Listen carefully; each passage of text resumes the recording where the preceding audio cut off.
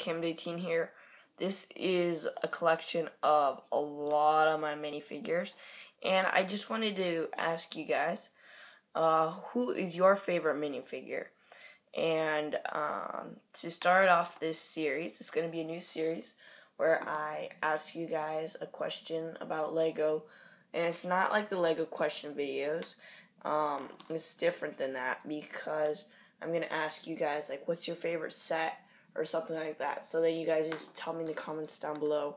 So my favorite minifigure, he's not in here, but you guys probably all know.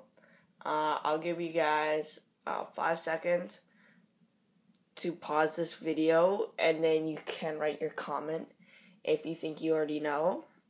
Um, but it's Flash, so yeah, it's not much of a surprise, but he is my favorite minifigure. Um, so yeah, let me know, guys, what your favorite minifigure is. Um, it can be one that a minifigure that you do have or one that you don't have. So yeah, I think this will be a fun new series, and thank you guys.